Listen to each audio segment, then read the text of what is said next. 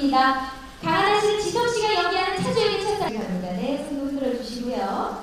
소나트도 좀 부탁드려도 될까요? 네. 아유, 아유 사랑스럽네요. 어, 좀 조심스럽긴 한데 판타지오 측에서 오늘 계약 위반 어, 입장을 내놓았어요. 그래서 거기에 대한 입장을 좀 듣고 싶어서요. 네. 자, 강한나 씨 먼저 답변 부탁드려도 될까요? 네. 아, 네, 우선 판타지오와는 지금 분쟁 중인 상황이고요.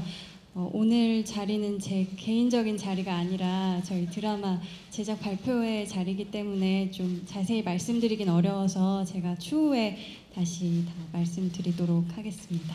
네. 어, 네, 제가 사실 첫사랑 역할을 하는 건 처음이에요. 그 전에 했던 역할이 좀 다 독하거나 아니면 굉장히 냉정하거나 그런 이성적인 역할을 계속 해오다가 이렇게 말랑말랑한 분위기의 드라마 자체가 처음이라 네. 정말 네 그런 잘 해낼 수 있을까 하는 약간 그런 스스로에 대한 걱정도 있긴 했었는데 음. 다행히 좀 앞에 예능에서 저의 좀 그런 드라마 기존에 보여드렸던 모습과는 다른 모습들을 이미 좀 보여드린 것 같아서 약간 좀 편안하게 음. 보시지 않을까 싶고 또 예능에선 좀 털털한 그런 부분들이 보여드렸던 것 같은데 맞아요.